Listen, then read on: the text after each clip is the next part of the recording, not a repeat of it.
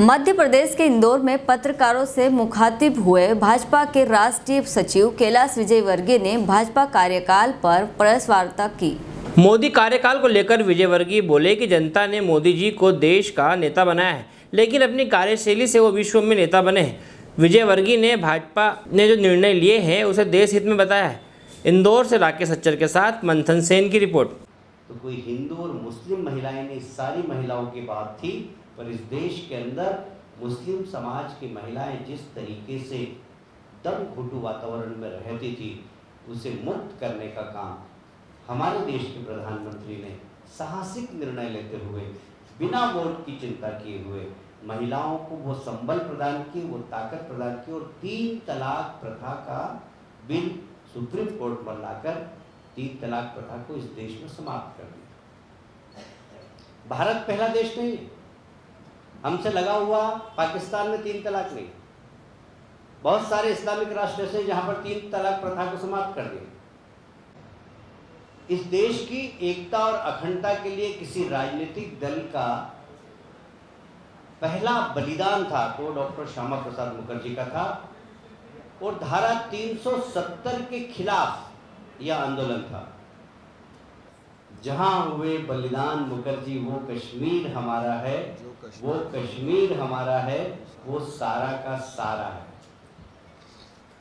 हम बहुत छोटे थे, हमें पता नहीं था धारा 370 क्या है, डॉक्टर श्यामा प्रसाद मुखर्जी कौन है। पर जब होश संभाला तो लगा कि धारा 370 इस देश के अंदर जो संविधान है, पैंतीस ए, ये हटना बड़ा मुश्किल है। हमारे जैसे कार्यकर्ताओं को लगता था। और मुझे कहते हुए ये बहुत गर्व है कि इस देश से मोदी जी के नेतृत्व में गृह मंत्री अमित शाह जी की चाणक्य नीति के कारण एक दिन में धारा 370 हट गई।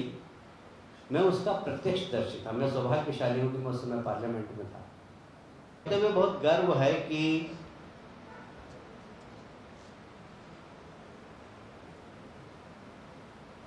इस देश में बहुत सारी विचारधाराएँ हैं। पर आज़ादी के बाद सबसे ज़्यादा इस देश में नेतृत्व यदि किसी एक राजनीतिक दल का रहा तो वो कांग्रेस का रहा। समय समय पर अन्य दल अपनी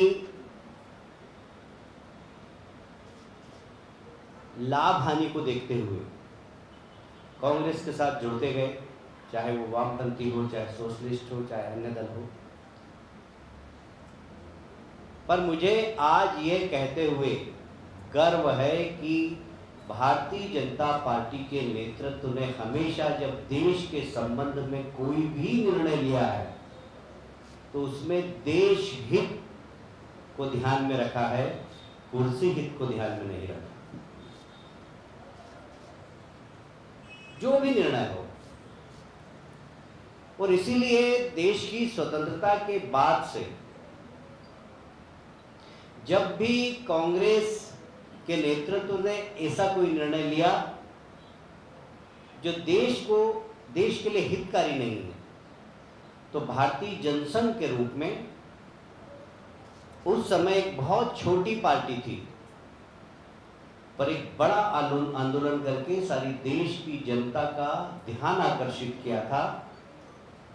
जब हेलो फ्रेंड्स आप देख रहे हैं हमारा channel S W twenty four news हमारे सारे वीडियो सबसे पहले देखने के लिए आप हमारे चैनल को सब्सक्राइब करें और पास में लगे बेल आइकन को दबाना बिल्कुल भी ना भूलें।